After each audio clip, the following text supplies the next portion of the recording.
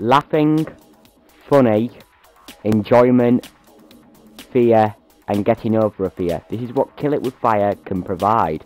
Now, this game is solely about you trying to kill spiders.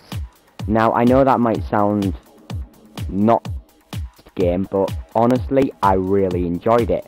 Now, I have a personal fear of spider as well. Now, just before I get into the review, I just want to say thank you from thank you from Tiny Games for giving me a code, and especially thank you to Yulia, who is the one who provided me with the code, and I will be doing a giveaway for one of their games uh, very soon on special delivery service. So I hope you all guys can stay uh, until then. Well, should we have a little look at this game, shall we? Now, Kill It With Fire is a particular game that at first I said no to because it obviously involves spiders. But I did have a I did have a try and I couldn't stop playing it. I've been I've been playing this game for a few hours at most now and I love this game. It's just you're just whacking things with spiders. You find you can find perks, items, weapons.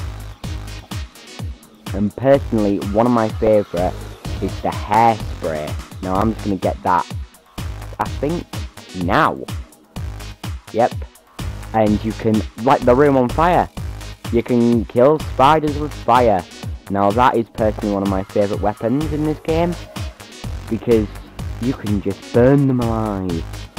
And it is solely amazing. Now, this game may not look good in the terms of graphics, but it's meant to be that way, and I personally love it.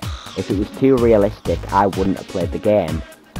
Now, honestly, Kill It With Fire is a 10 out of 10 for me because it is honestly amazing. You can get over your fear of spiders, but I don't think I ever will. but it is amazing. I really enjoyed playing this game and I'm possibly going to play it for a lot longer. Now, I'm going to give this game about a 10 out of 10 and I'm going to rate it a 5 out of 5 for stars because it is amazing and hilarious. I've had good laughs and good fun. Now I hope you all guys enjoy this game and if you'd like me to review any more uh, games from Tiny Build then please comment down below and yeah, see you later.